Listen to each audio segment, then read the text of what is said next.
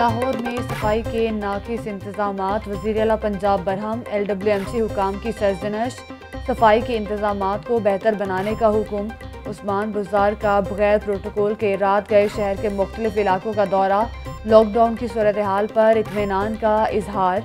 उस्मान बुजार ने कहा कि शहरी मजीद पाबंदियों से बचना चाहते हैं तो हुकूमती हिदायत पर सौ फ़ीसद अमल करें। कोरोना फैलने के खदशात के पेश नज़र पाबंदियाँ मजीद सख्त। शहर में आज भी मुकम्मल लॉकडाउन नाफिज तमाम कारोबार, मार्केटें और बैन सूबाई ट्रांसपोर्ट बंद। रमज़ान बाज़ार, दूध दही की दुकानें, तनूर ग्रॉसरी और करियाना स्टोर खोलने की इजाज़त।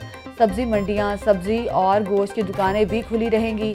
मेडिकल स्टोर्स पेट्रोल पंप्स और वैक्सीनेशन सेंटर्स भी ओपन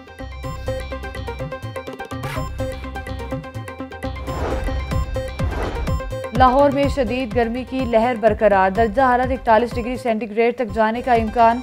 शाम के औकात में गर्द आलूद हवाएँ चलने का इम्कान।